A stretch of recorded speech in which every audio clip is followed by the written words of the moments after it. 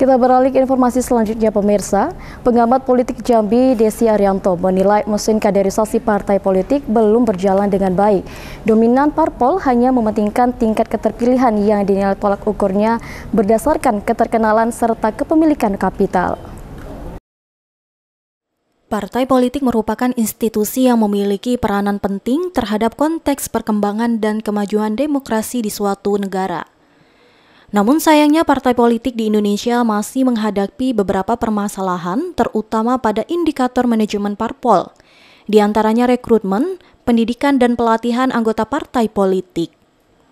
Karena untuk mewujudkan partai politik yang berkualitas dan berdampak baik bagi konsolidasi demokrasi, indikator manajemen partai politik harus diterapkan oleh parpol yang ada di Indonesia, termasuk di Jambi.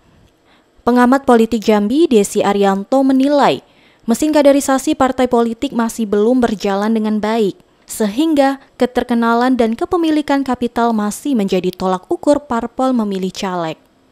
Juga fenomena yang lain, dan itu juga berkembang, eh, proses peng, proses pengkaderan di partai sampai hari ini kan kita masih lihat e, sangat minim. E, kita jarang sekali mendengar ada proses rekrutmen anggota partai atau pengumuman rekrut anggota partai diawali dengan misalnya pelatihan kayak atau apa kayak itu jarang sekali kita dengar. Uh, tapi tahu-tahu setiap pencalonan full bahkan uh, partai sulit uh, mengendalikan siapa saja yang akan bisa lolos dalam proses pencalonan. Nah ini juga menjadi fenomena yang lain dalam proses pengkaderan partai. Tetapi di sisi lain ada fenomena baru juga yang berkembang.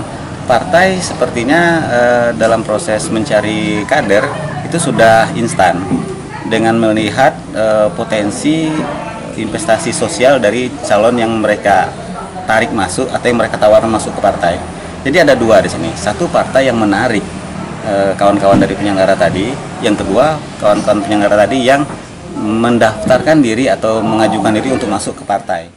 Fenomena mesin kaderisasi partai politik yang dinilai belum berjalan dengan baik erat kaitannya dengan fenomena mantan penyelenggaraan pemilu maju sebagai calon anggota legislatif pada pemilu 2024. Hanura yang saya sekarang bergabung itu murni berdasarkan hati nurani.